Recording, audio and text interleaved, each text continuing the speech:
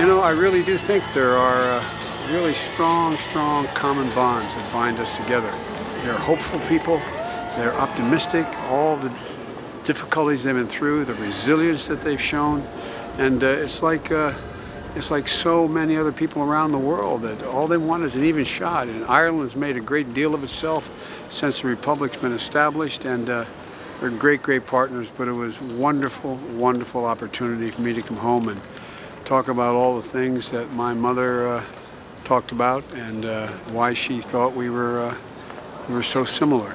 And my mother imbued in her children and her grandchildren an absolute certitude that they were equal, and I mean this sincerely, they were equal to any man or woman on earth, and that everyone was our equal, deserving of dignity.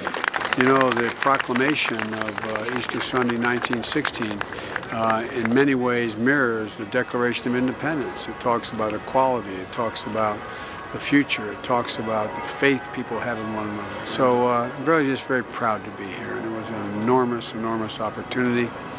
And to be selfish about it, I was really happy my five grandchildren were here to, uh, not so much to hear, but to see, to see, to see the world.